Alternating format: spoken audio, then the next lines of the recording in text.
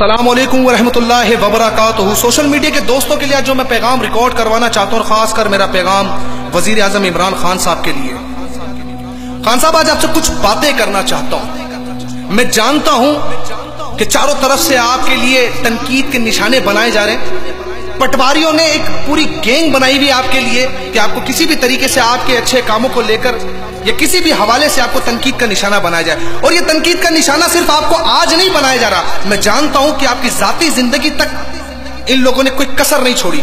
चाहे आपकी घरेलू लाइफ हो, आपकी जाती ज़िंदगी के कोई मामला तो हर तरीके से टारगेट किया गया। मैं जानता हूँ। और मैं ये भी जानता हूँ कि आपको पैसे की कभी कोई कमी नहीं रही है। आप एक रियल सुपरस्टार रहे, मैं ये भी जानता हूँ। खान साहब, मैं कुछ बातें करना चाहता हूँ। मैं कुछ बातें करना चाहता हूँ जो कौम ने आपसे उम्मीदें लगाई हैं उस हवाले से। मैं कुछ दिन पहले एक वीडियो देखता हूँ कि जिसके अंदर ट्रैफ़िक वार्डन ने पकड़ा और 2000 का एक गरीब का चालान करने के लिए पर्ची काट दी।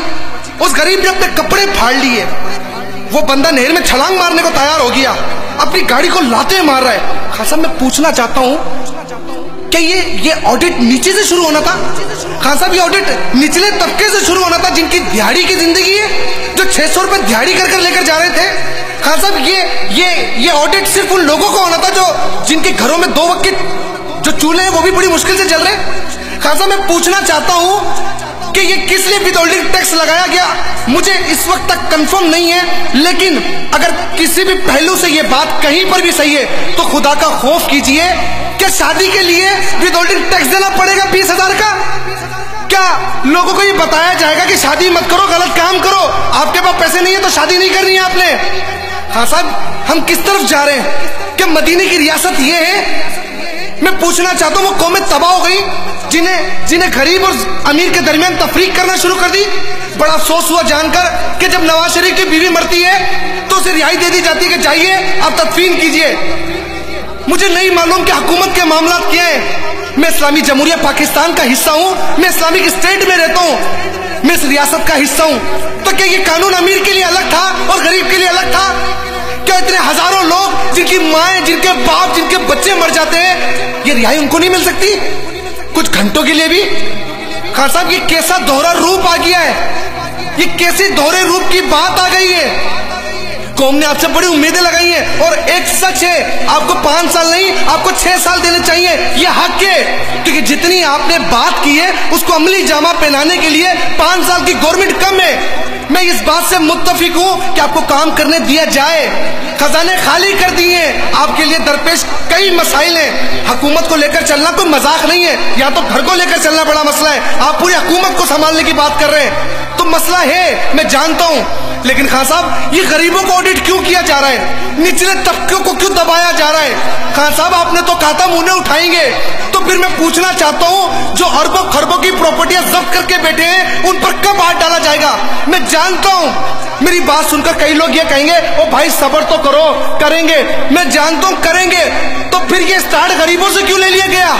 कि निचले तबके पर इतनी जल्दी हाथ क्यों डाल दिया गया? कहाँ से लाए वो दो हज़ार रुपए?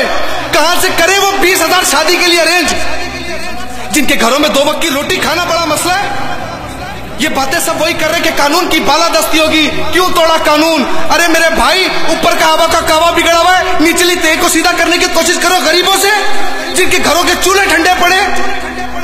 खान साहब, मैं दुआ गो हूँ कि अल्लाह तबार को ताला आपकी गरीबी मदद फरमाए। इस, इसको मदीने की रियासत बनने के लिए आपकी भरपूर हिमायत है। हर कौम की, हर शख्स की आपके साथ हिमायत है। लेकिन खान साहब, मैं आपसे ये बात कहना चाहता हूँ, खुदारा गरीबों के साथ ये मामला ना करें। इन इन गरीबों के लिए बड़ा मसला है रोटी खाना। आज लोग भीख मांगने के लिए ज़्यादा गए। आपने तो कहा था ना, मैं ऐसी रियासत बनाएँगे जहाँ पर जक़ात के लिए एक शख्स ना मिले। ये तो मरने के लिए जा रहे हैं। और दूसरी बात, इन ट्रैफ़िक वार्डन पर ये कानून क्यों नहीं लागू होते? वो खुद तो हेलमेट पहनते नहीं है। उनको तो गवर्नमेंट मुहैया करेगी ना। तो सोचे ये गरीब कहाँ से पंद्रह सौ रुपए का हेलमेट लें? खान साहब, कानून बनाए, लेकिन इतना सख्त भी ना बनाए कि तुम्हारे कानून की वजह से कोई खुदकुशी कर ले। तुम्हारे कानून की वजह से कोई अपने आप को आग लगा दे। वो गरीब नहर में कूदने की कोशिश कर रहा था, एक लम्हे के लिए सोच के देखिएगा। कहीं आपके ये सख्त कवानीन गरीबों के लिए जानलेवा ना बन जाए।